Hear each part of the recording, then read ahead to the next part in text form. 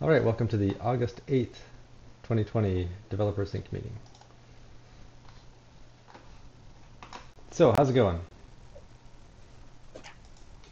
Awesome. All right, Great. hurrah. So we done? All of it is Time to done. ship it? Excellent. Okay. Um, so Chris has been working on the schema for our new and improved Wakeword tagging system. Um, and uh, Ken's been working, I assume, on the uh, Wakeword uh, training system. Um, so yeah, why don't we just go around and uh, get an update on how things are going there. So let's start with Ken.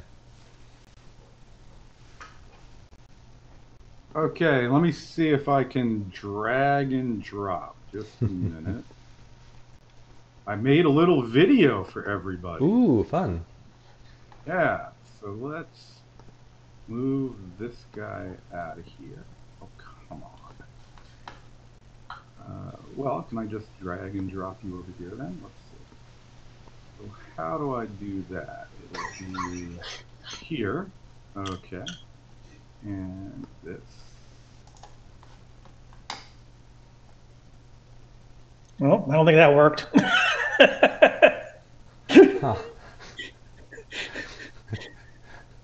yeah, I only did that once during my, my VC call today.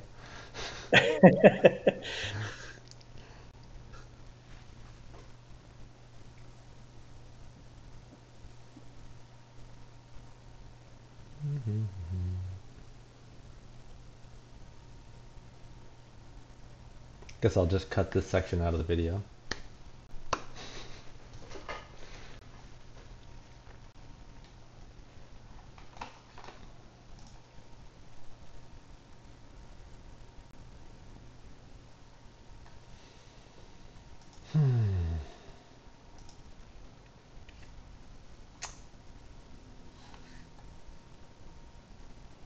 Welcome back. I don't think that went as expected. Did, did the video make it into the chat room? Uh, no, but you disconnected. Yeah, and it just started playing the video when I drug it into chat. All right, well, I will describe what said video demonstrates. And I am planning actually on doing a YouTube video. Uh, but what I did is I created the first uh, rough draft of the Precise Studio. And it is a UI. Uh, so basically, if you check out the code line for Precise, you'll get a new directory called train, and under there you'll have a UI directory.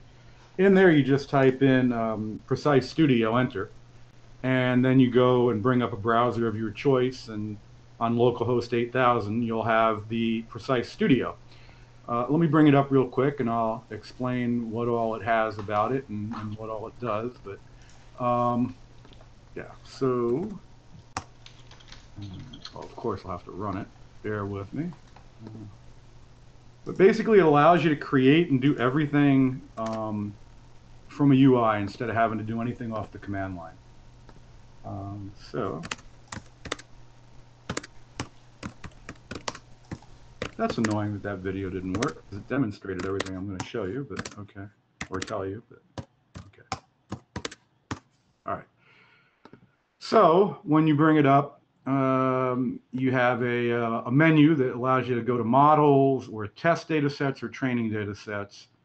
Uh, there's the measure accuracy page, which you guys have already seen, record sample. So the concept here is it's running locally on your machine and you're creating models on your own, uh, on your machine for whatever you want. And you can install them there or whatever. Now, um, part of this pay, one of the um, options is record samples.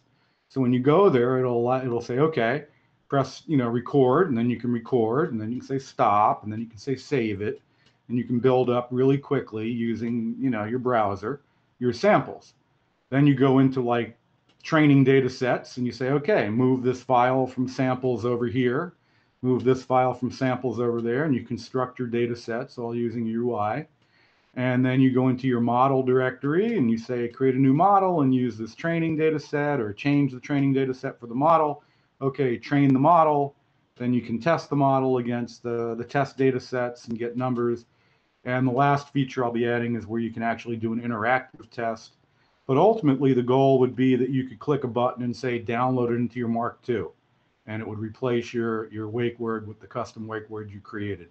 So you could actually create a custom wake word, uh, not being a programmer, uh, and probably do it in about 15 minutes. And then you could, you know, iterate through and add more samples or delete samples or balance or whatever you want to do.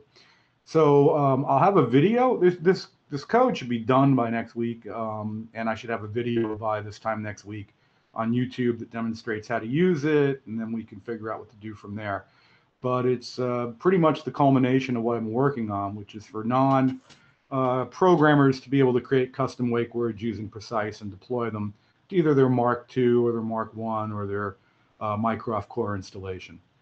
So that's uh, what I've been working on. I was going to do some more models, but I haven't gotten enough feedback from the models I've put out yet. Although I did get positive feedback from Gez.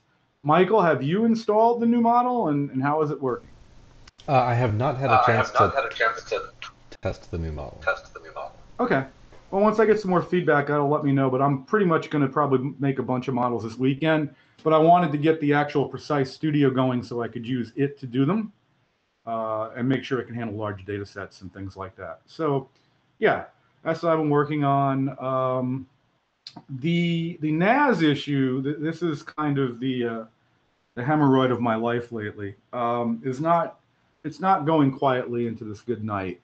So I, I got an email from Josh. It says, whatever you do, don't bork the NAS. And here's how you can get into it, which made me think I think what I really want is to ask Josh to have somebody physically go over to the data center and copy the NAS uh, directory onto a thumb drive and get it away from all that water. And then once he's done that, I will go and execute my script that will begin moving those files out into the directory structure that, that Chris V and I had agreed upon, um, because that's going to be a destructive move. It's going to move them from that main directory into their new subdirectories. So, you know, if something could go wrong, if we have a backup, that would be wonderful. Um, the assumption is it won't take 26 days, even though that's what the original estimates are, because the belief is as the subdirectory shrinks in size, since I'll be moving files out of it, it will perform faster as I go. So I don't really know how long it's going to take. I know just straight copying, it took four days to get about half of the files out. So, and part of that was that the problem was as the target directory was getting filled, it was taking longer and longer, right? Because now it had two really big directories it had to deal with. So the assumption is if I move, that will um, go faster but that'll be destructive. And so I'd love to get Josh to have somebody back that up to removable media somehow before I start this destructive move. So that's kind of my status. And hopefully this time next week, I can point you to a link on YouTube that will show you what I've done. And then Gez will actually hopefully check out the branch and test it himself. So that's where I'm heading. Okay. Yeah, that sounds really great. Um, I was going to say we can questions I uh, have, um, the model. Oh. I've sent the model to a couple of um, to a couple of people, but we should just post it in the precise channel, I think, and say anyone that feels like testing it out, let us know.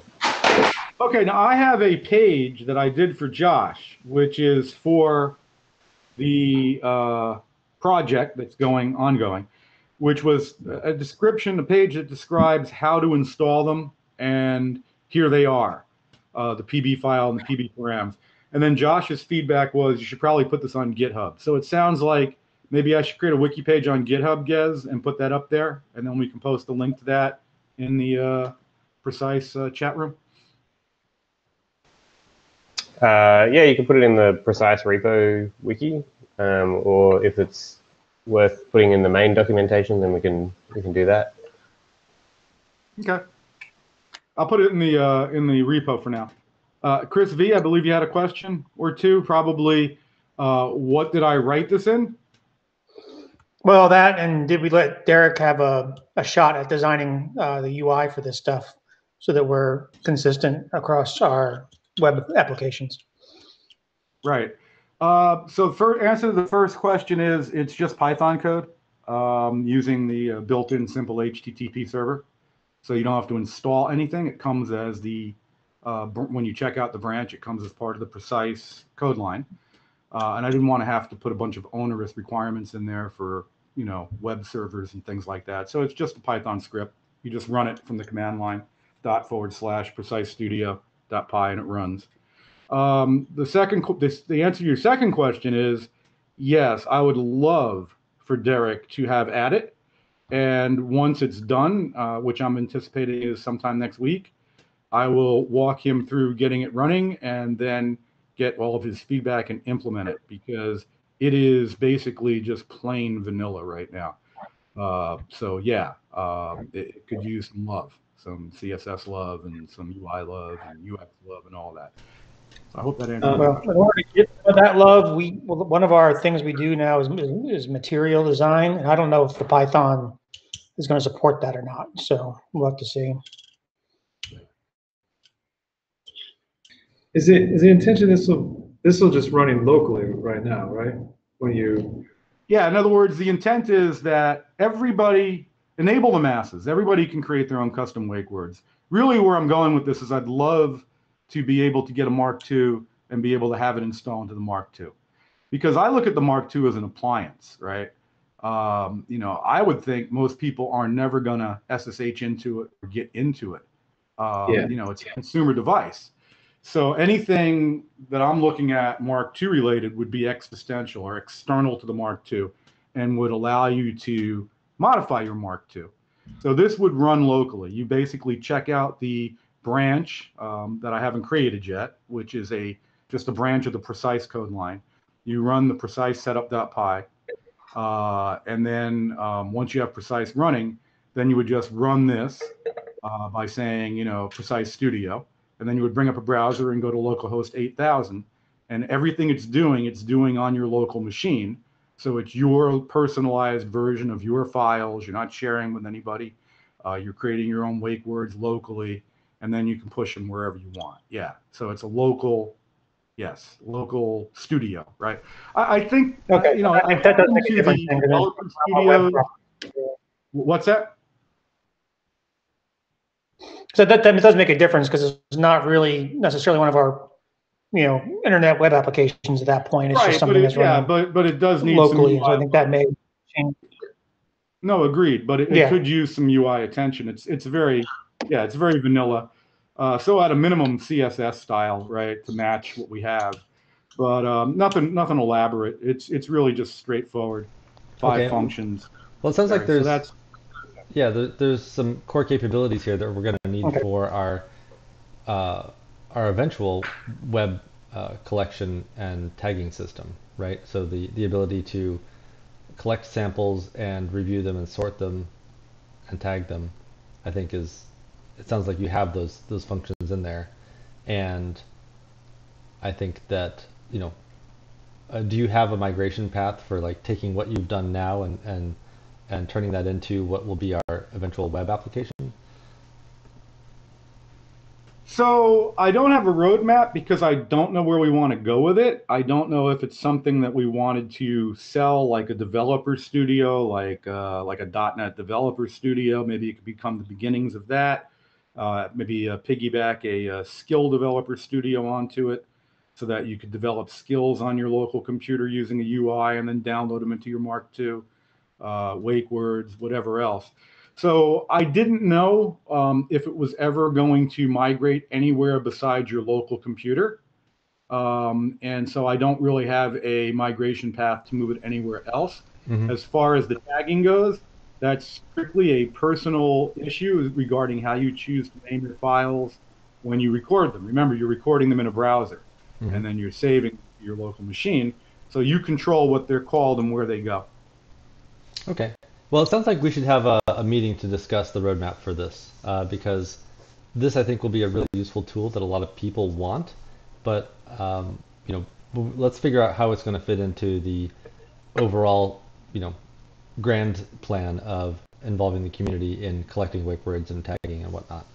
Um, Yeah, this is kind of this is kind of a side that a side of that because it doesn't really do anything that that data flow works on. This is just for you to create custom wake words locally. But we can talk about it because once I have it up and we can see it and I can post a video, like I said on YouTube, then we can discuss where we want to go with it from there. Yeah. Okay. Well, and we also need to discuss what's the priority of you know uh, enabling people to create their own wake words. I think that it's a it is a useful feature, but I I'd rather do it in the context of our overall system rather than you know it being something that only developers can can really interact with. And then you know if you're creating a, your own wake word and versus you know if you're if it's a low level tool that we're expecting only developers to use, then that's one thing, and we can you know spend a little bit of time on it and wrap it up and put a bow on it and set it aside. But um, but I think that we can do more than that. I think that we can make a tool that uh, everyone can use, and uh, but in order to do that, we need to figure out how it fits into you know the Mycroft. Uh, you know, is it a is it a new skill? Do we package it as a skill that people can install to train new wake words, uh, or do we make it a part of Selene? Um, you know, uh, or expose it as a separate service through Selene? You know, that kind of thing. Like, what is the architecture overall for the for the data flow, and what's going to be useful for our end users, um, and you know how how to best service them? Because if you know if I'm creating a wake word, I'll want to deploy it to all of my devices, right? Presumably, and um, or potentially, right? Uh, so, um, you know, we just need to think about those things. Absolutely, yeah. And like I said, I think it'll be So it's easy part to of, talk part of about.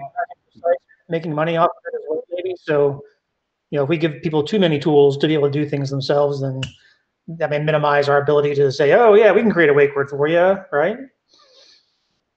Yeah, yeah, yeah. Again, well, I think Or that I think it'd be best that next week when it's done and ready to show, everybody gets a look at it, and then we can all step back and say, okay, here's what I think about that. Okay. Well, why don't we uh, prepare? Can you? Uh, you think you'll be ready to do a demo on Monday? No, I was thinking more like next Friday. Okay.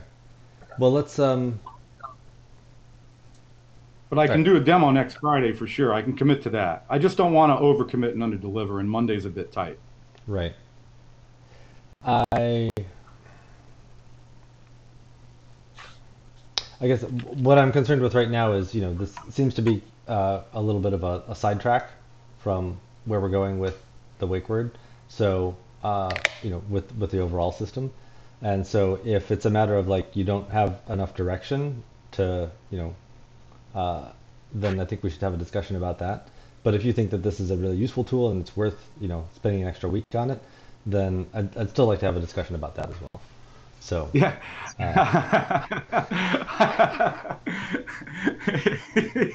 yes, Do you want A or A? yeah, exactly. but uh, what I would say is that I'm, um, yeah, I, I think it's very useful. Um, the thing is, I'm in a pseudo holding pattern um, on the uh, on, on the NAS stuff, and also a little bit of a pseudo holding pattern. I'm ready to uh, implement the third piece of the roadmap for Precise, but I'm in a holding pattern until Chris has made some progress and we get the data moved out. And that third uh, bullet point, I guess, or third project is the triggering of okay, new data has been gathered, a level has been hit, a trigger has been generated, create a new model and test it and decide what to do with it. So I'm ready to do that, um, but I'm blocked a little bit. So that's why I kind of you know said, hey, rather than just building models, uh, let me just do a really easy non-programmer interface so everybody could build models. Um, and that's that's where I came from this. It's just kind of the culmination of what I had learned, you know. So even the hyperparameters are extended to the model training process. But anyway, that's neither here nor there. We can talk if you'd prefer, um, maybe Monday or Tuesday, um, about the direction and stuff, just to make sure I'm not going too far astray, if that makes sense. Yeah, okay, let's do that. Okay. Okay, uh, Chris Vare. Or you're not here. Okay, that was easy. Uh, guess.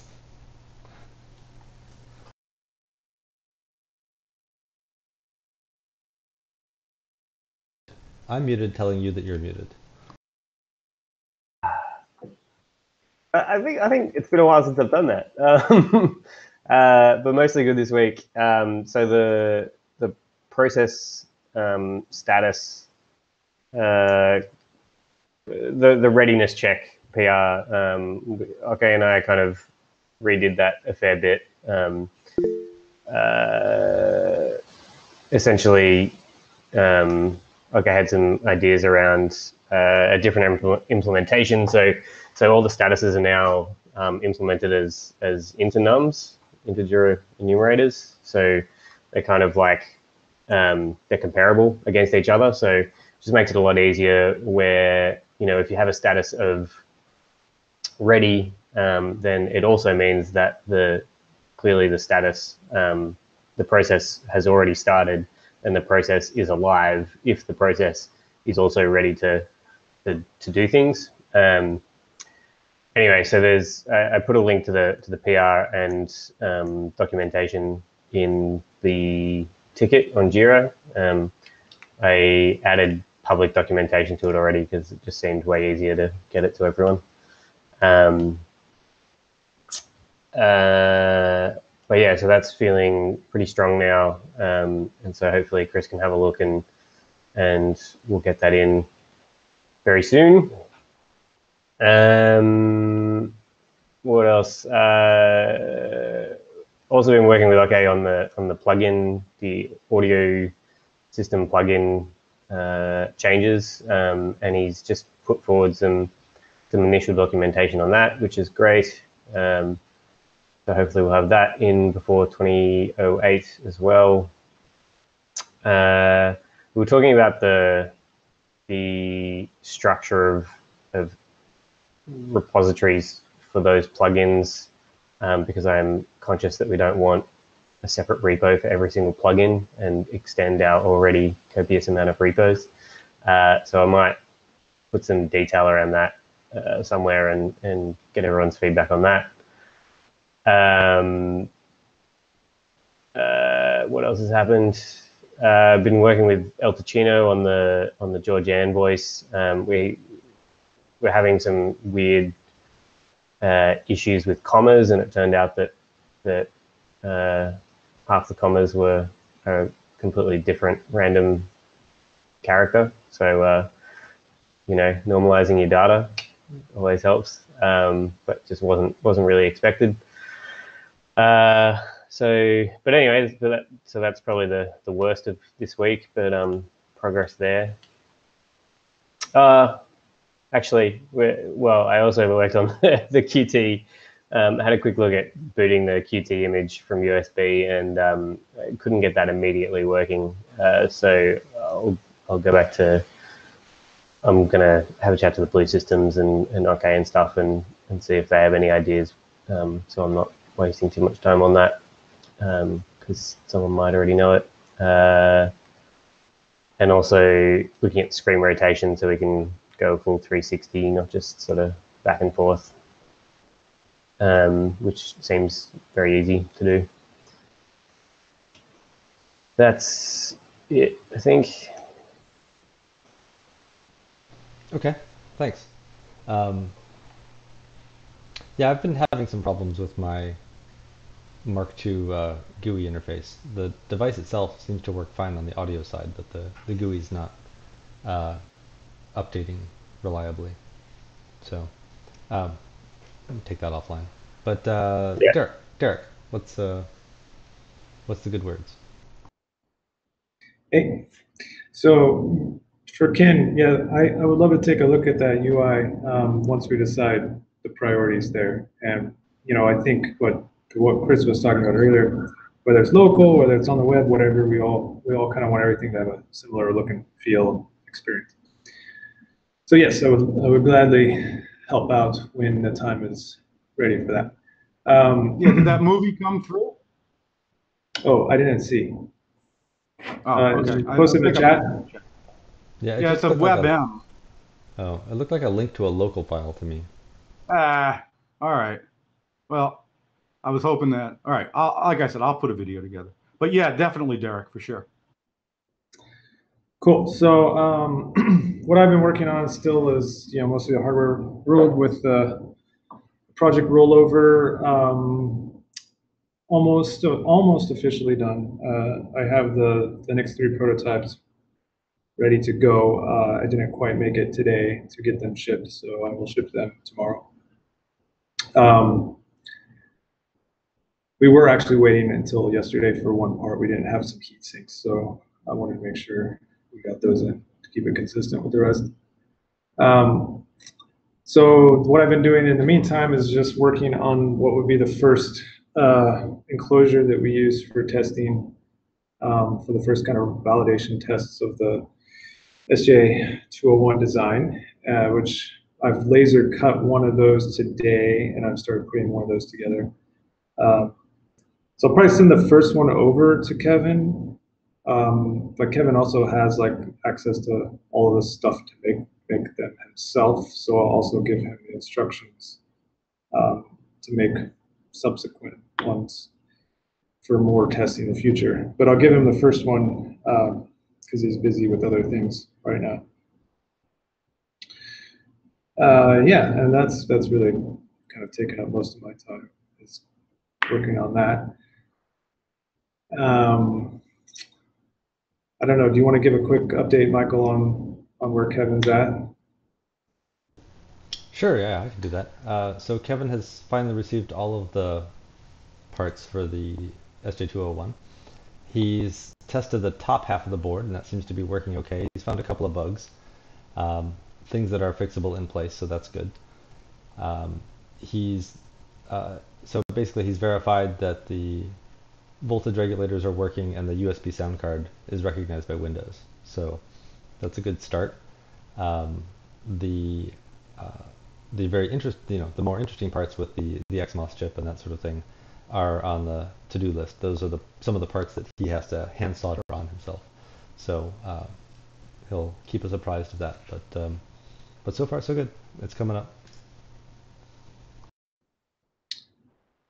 Yep. And so I um, once I kind of wrap up this laser cut design, I'll start back on the detailing of the actual uh, enclosure design that will be the kind of pipeline to production.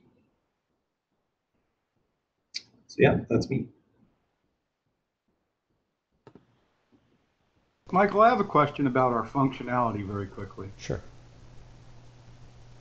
When when a Mark II is uh, brought into the room and it is connected to the same network or via a USB cable, does it function as a speaker and microphone for the host operating system? I think that would be a really cool feature. I don't think that that is part of the existing core functionality right now.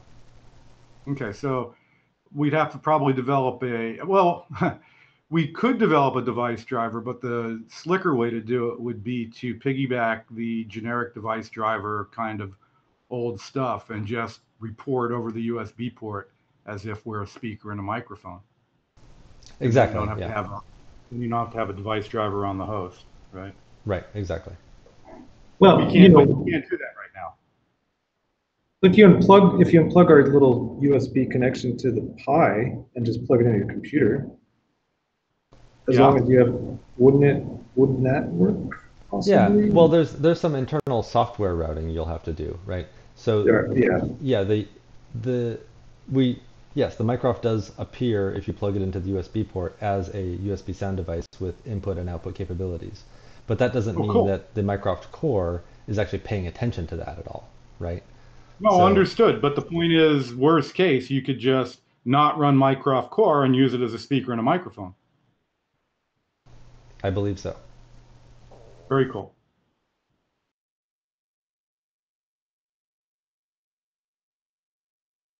Okay, so uh, Chris is back. Um, let's see if we can get to him before the internet does. Okay, hi everybody. Um, I don't think my parents' network is used to my level of internet usage. I just rebooted the router. Hopefully that'll get me going for a little while.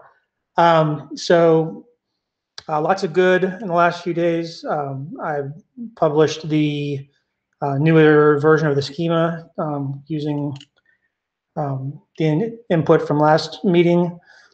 Um, haven't heard any feedback yet, so I'm hoping that's a good thing. But I have started uh, coding based on that schema. Um, so I have all the DDL written. I've got my local database with new, um, not all, not the whole new schema. Right now, I'm just building what I need for the uh, collection piece, which is the wake word table and the sample table. Um, and so I've got all the DDL built for that. Um, and I changed uh, existing code to deal to that use the old work wake word table to use the new one, and that's all committed. And right now I'm I'm working on the uh, the endpoint to go to the device API that will um, that will replace the current endpoint that's being used to upload the audio and it has authentication and all that good stuff in it. So. Um, so that's almost code complete. I'll have to write some tests around it, et cetera, but um, making really good progress on that. So after that API is written, then the remaining thing will be the script that copies or well that moves the data from the uh, from the machine where it's stored to the NAS. Um, so and then that'll be most of what this first sprint is. I also reorganized the sprint in Jira. I know we haven't been using, looking at Jira much recently, but um, when I originally put the sprint together in Jira, um, I, I, put it together as moving the entire uh, precise API over at once. But um, I think it made more sense just to move over what I needed for this piece and then move over the rest when I'm ready for the tagger. Um, so I rearranged the tasks there a little bit um, to make more sense for what I'm actually doing right now, which is the upload piece. Um, so I did some of that, and that's that should all be up to date now. Um, so yeah, so lots of good stuff. Um, I don't think there's anything really bad um, to report or ugly.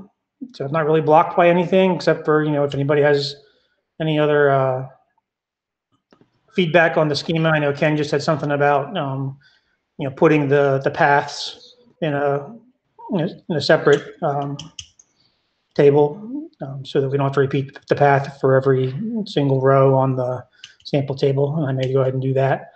Um, but yeah, unless there's anything else, I'll just continue to go forward coding with what I have now. And um, any luck in the next few days, I'll have I'll be at the point where maybe we can start talking about the taggers. Uh, quick question, Chris. The uh, Mycroft core code won't have to change, right? You'll just be backward compatible with it. Um, it won't have to. I mean, it will. Okay, it won't have to change. I think for 2008, I'd like to see it change to be. Um, actually, no, it will have to change. I may have to support both for a while because the, the interface and core to deal with the public API is in a whole different part of core than, I mean, basically this API call is just stuck in the audio service right now um, directly instead of using the API mechanism in core, which is what the rest of the public API uses. So if that's going to break compatible, I don't, I don't know if, if we reveal, release that as a minor version, if that's going to impact compatibility or not. But since we've got the major version coming up, 2008, um, maybe we just include this as part of 2008 um, using this this new API instead of the old API. Any It would be coming up very quickly, just in the context of, you know, we're talking like three weeks.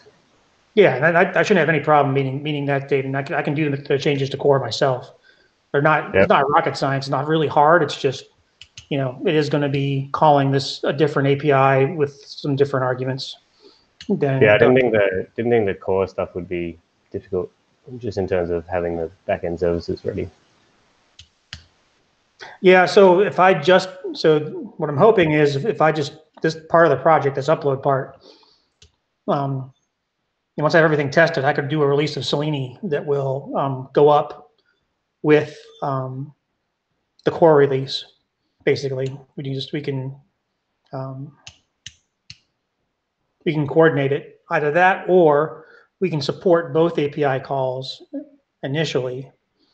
And then, you know, then remove the support for the old API call after we're happy that the new one's working. And just, just, oh, never mind. Scratch that. That's not gonna work. So yeah, we guess just have to coordinate, uh, we just have to coordinate moving 2008 and the newest version of Selene together.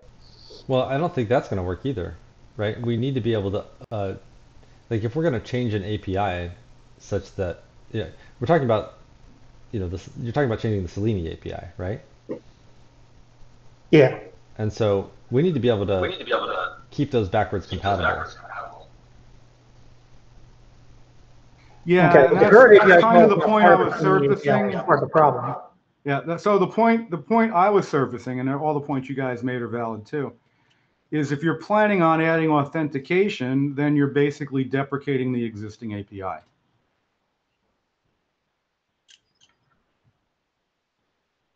I'm uh, deprecating existing endpoint, yes. Well, yeah, I mean, the existing endpoint, therefore, all core will, ha- all, all users that have core checked out will have to upgrade or their code will break. That, that's the only warning I was throwing out there. Now, this is in terms of submitting samples, right? Yeah, So can, yeah, so we're gonna have to put out, I mean, maybe we'll have to push out like a minor update that um, checks to make sure the API still works, and then if it doesn't, then, you know, basically just disables that function, right? So that, well, I guess if we, if we disable that, because, yeah, because we could just say that if you're running an old version of the software, that, you know, maybe that endpoint that it's, it's being called right now redirects somehow or something like that. We could redirect some, I, I don't. well, basically a- we're saying that like, you know, if you have an old version of the software, you can't upload sample files, right? Is that the issue? Yeah, that, that would basically Okay. be it. And we could just put something, minor update into like 20, oh- well, Yeah. Wa- you know, as long as that, as long as that code doesn't crash, I'll have to check. As long as it just like says, oh, I got a bad return code, big deal, and logs it, well, I think we'll be fine.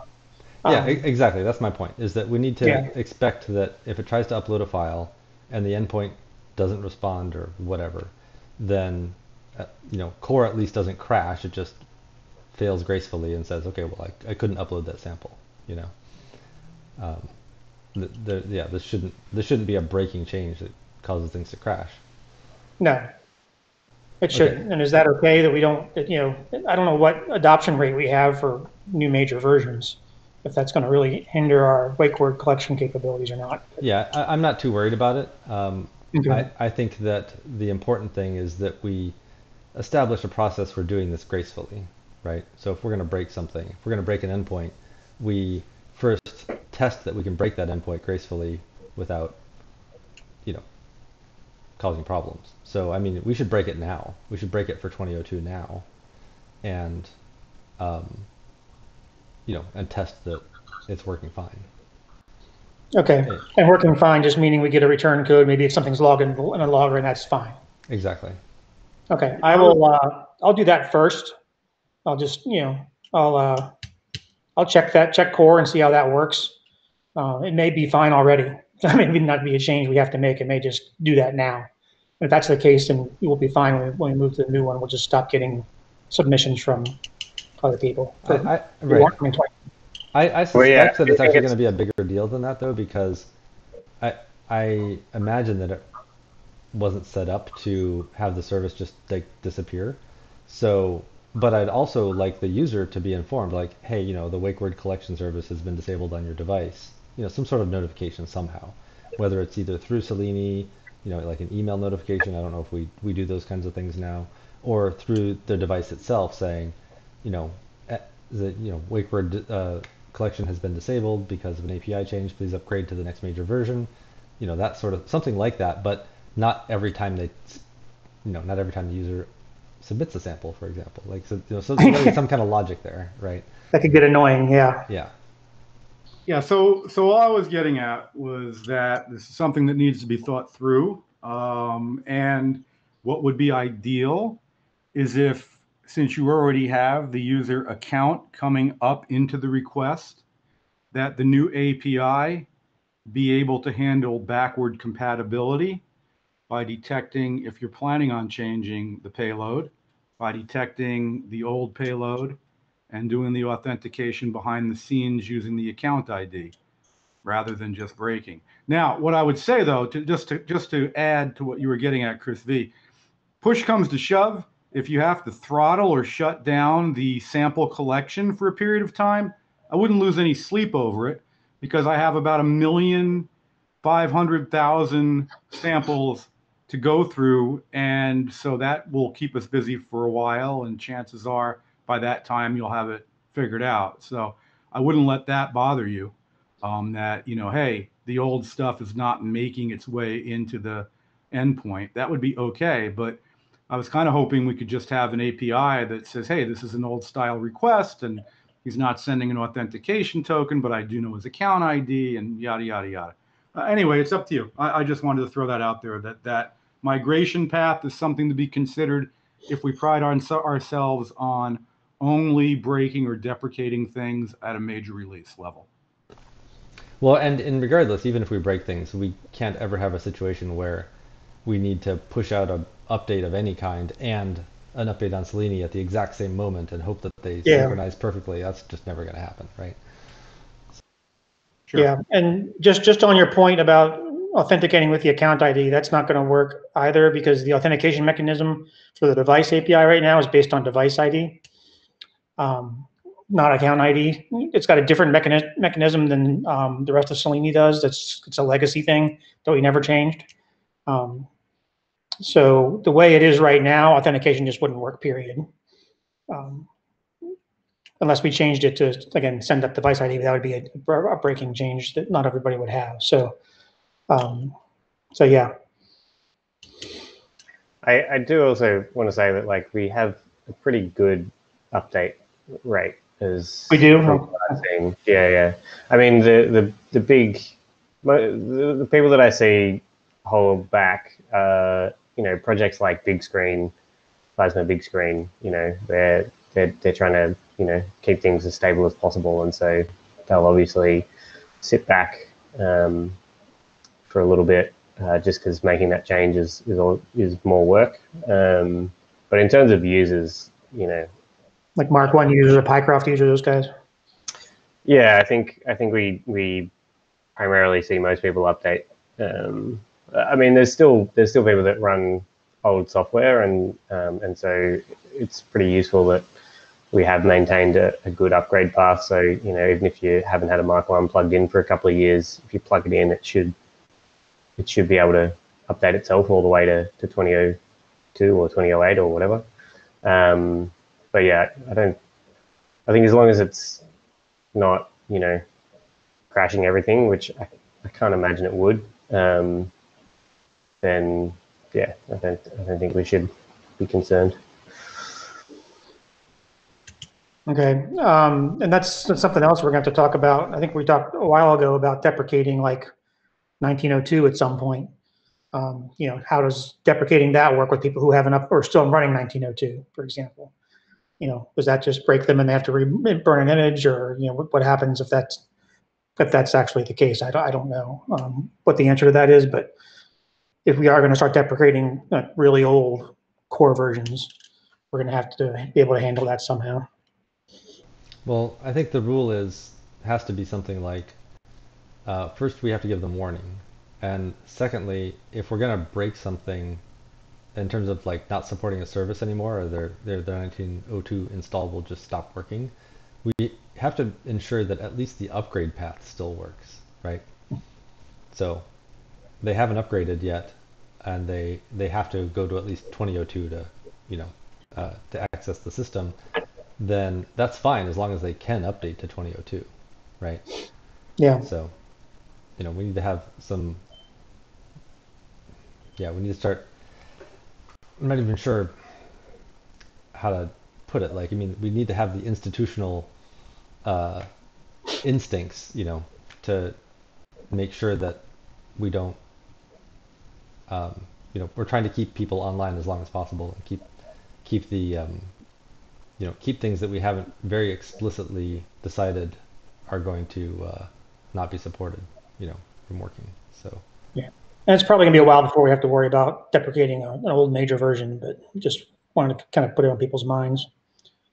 Yeah, and along those lines, Michael, regarding this issue, if the old API endpoint doesn't get destroyed, um, and if we don't want to maintain the exact same DNS, which I think is like training dot mycroft dot something, then Chris could prop up the new API and the two of them could peacefully coexist. And then the upgrade to core would go to the new API, therefore not breaking any of the old devices. And when they upgraded, they would move to the new one. And so Right.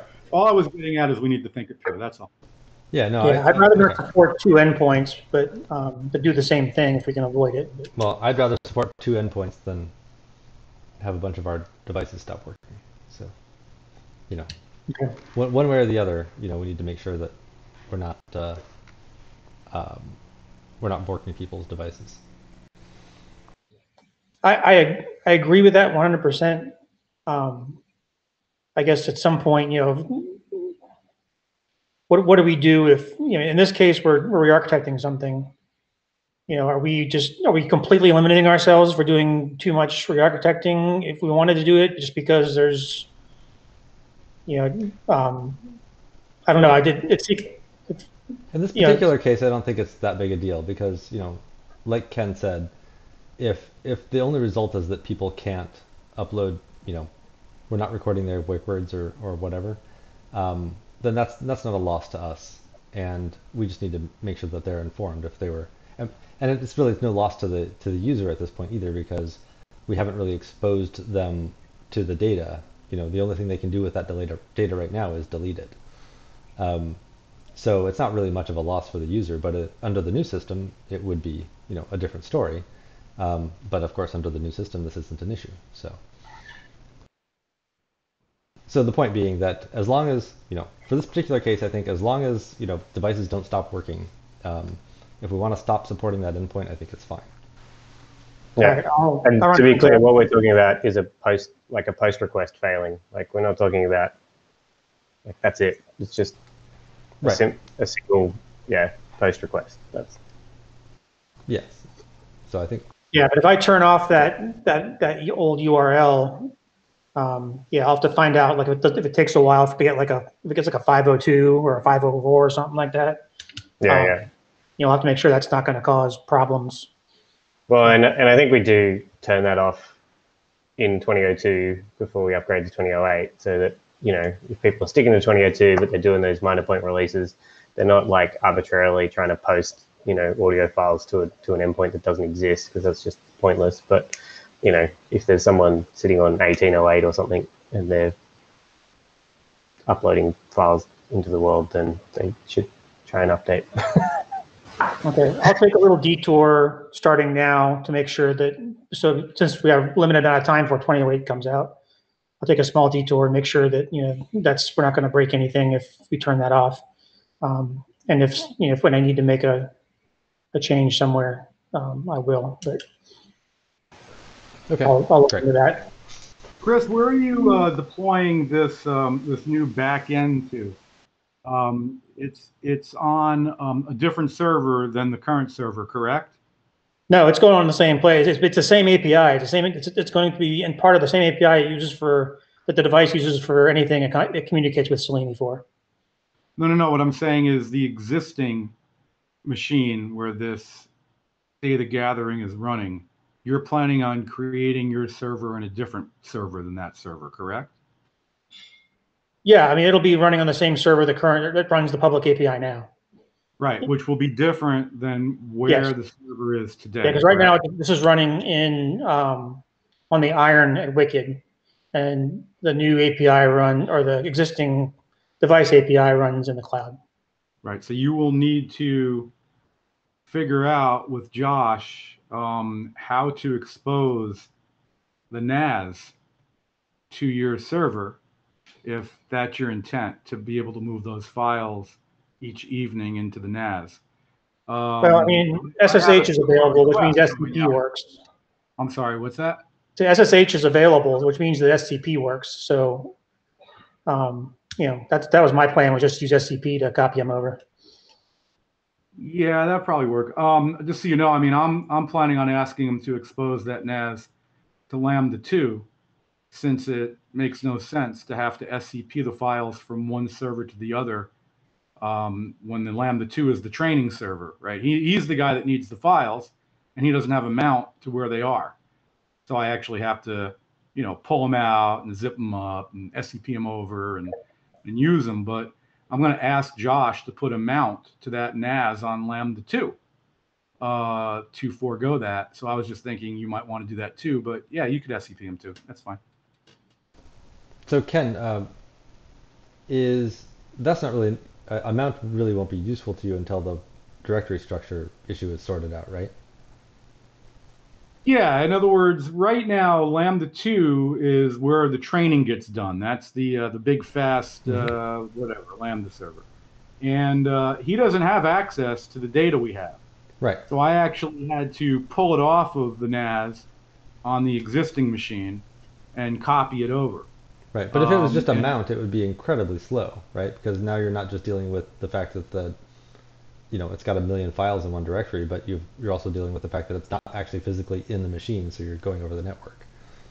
Right, but the assumption is eventually that mount will be where the files are placed each day, and then each night a cron will move them into their corresponding proper subdirectory.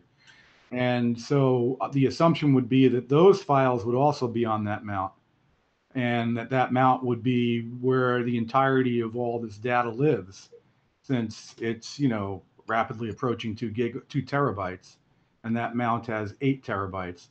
So short of firing up a new server somewhere with four or five terabytes, then I was trying to figure out how we can reuse the existing resource, uh, even though it happens to live under a bunch of water. Uh, and so, yeah, um, that's where I was going with that was that it's wonderful that we have a big drive that we can store the files on. It's a shame nobody else can get them.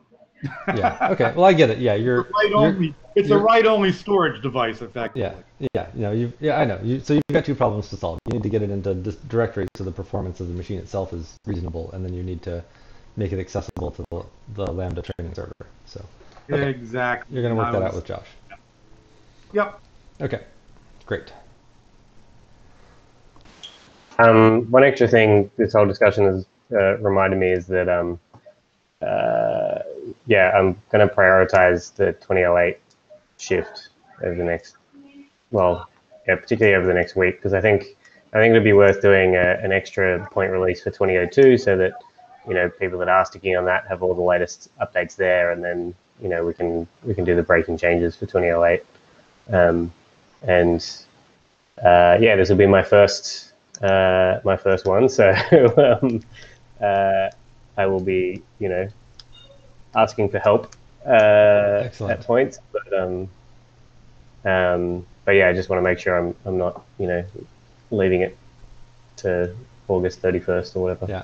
I I, think assume there's a been in touch with. 2008 Yeah. Sorry. I, There's I, I a just. 28 sprint out there, right? I think, so, I mean, do we have any breaking changes yet to be made? Uh, uh, I've got a few um, that I want to make.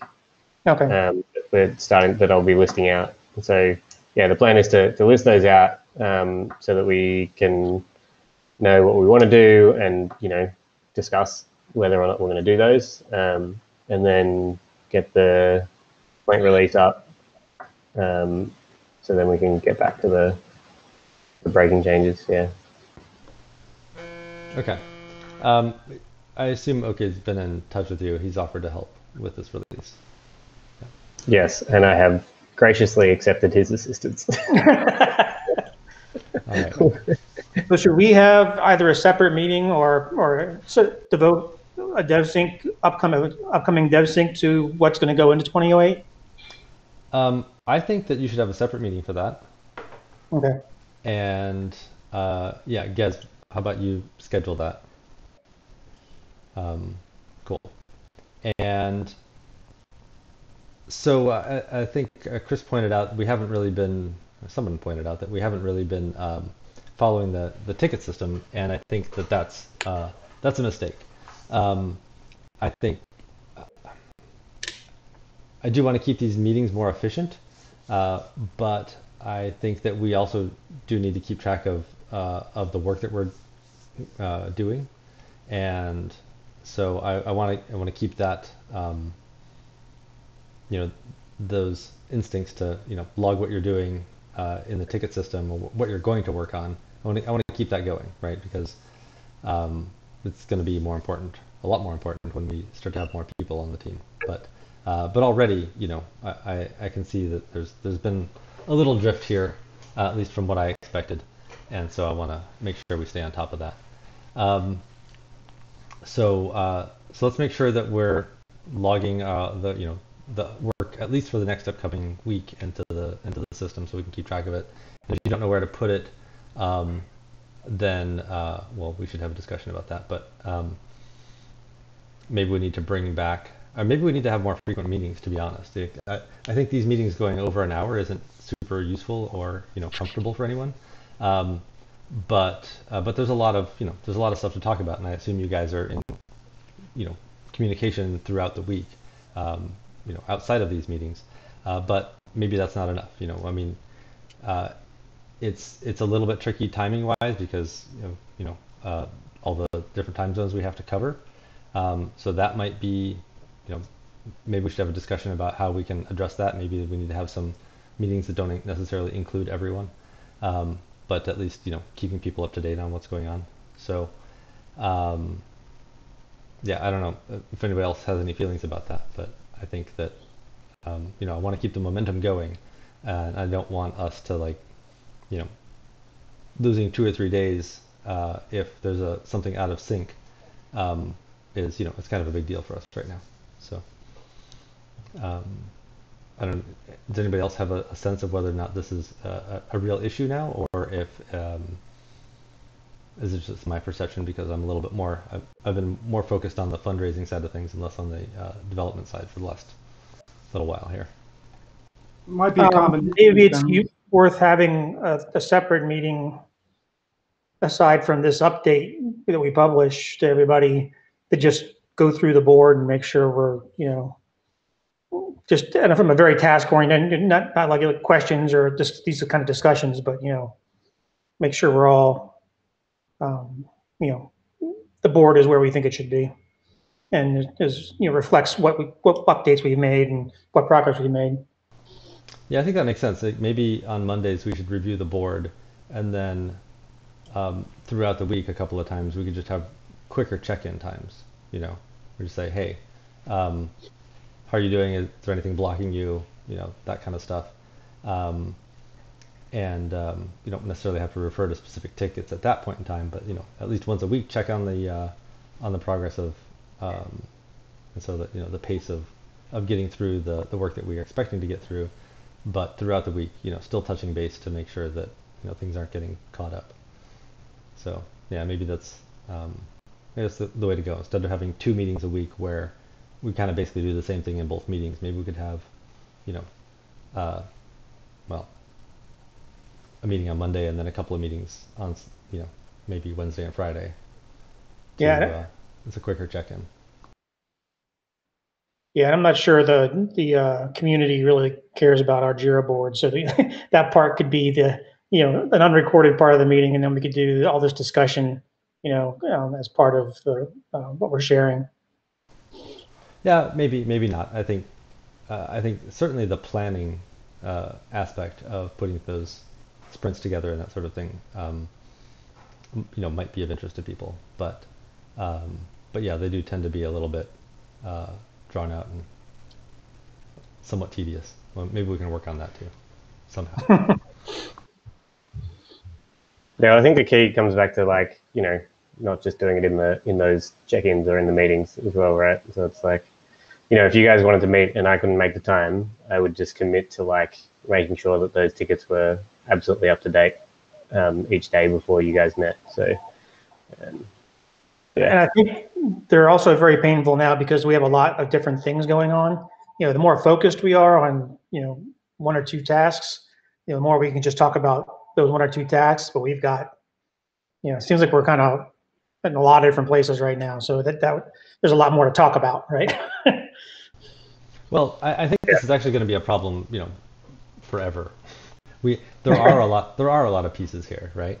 Yeah. And um, you know, we need to find a way to be able to communicate effectively about it. Like when the as the team grows, you know, we're going to get somebody in here who's dedicated to watching, you know, the overall process instead of having me, you know, being kind of split and Chris kind of doing some of it and you know that kind of thing. We will have somebody who's dedicated to just, you know, making sure that um, you know we have a plan and we're sticking to the plan. And if the plan needs to change, that we do it in a thoughtful way. Uh, right now, you know, we're small enough and, and we should be able to, you know, if we were all in the same room, you know, every day, you know, we could draw on whiteboards and whatnot. We, I don't think we'd, you know, be having a, a little bit of a different experience than we are right now. Um, but uh, I don't, I don't think we're really losing a lot in terms of efficiency uh, by being distributed. But I do think that we're, we're losing a little bit, and um, so I just want to tighten that up a little if we can. Makes sense. Okay, so uh, with that being said, um, today's Thursday. We'll uh, let's meet again on Monday. Let's plan to go through the Jira tickets. Um, I would, I don't want to make that into a meeting where we like discuss uh, status as much as we do discuss maybe plans. So uh, let's just make sure that going into the meeting, prior to the meeting, all of your status is up to date. Um, and you put in all the tickets that you anticipate working on for the week, for that week, at least for that week, um, into the system prior to the meeting. And so we'll have everything there in the meeting, and we can just discuss, okay, well, what are our priorities, you know, and uh, and how you know how are we um, uh, dependent on you know each other's work and that sort of thing. So, all right. Sounds good. Cool. Yep. Awesome. Well, thanks. I mean, it's a, it's a lot of good progress. I'm excited about the new wake word collection system and getting a new, um, you know, the, the system in its entirety uh, up to speed. And I'm um, I'm really looking forward to trying out the new wake word uh, model that Ken sent me. I did do a, a little bit of uh, testing with uh, with my wife, and uh, the hit rate on the current model is abysmal. So it'll be really easy to tell if there's a difference with the new one. So. Should be pretty easy. Yeah. So, all right. Uh, okay, thanks everybody. I'll uh, keep you apprised of any hardware updates uh, over the weekend if, as we get them too, because I know that's of interest to everybody. Absolutely. All right. Have a All good right. evening. You have a good easy. You guys.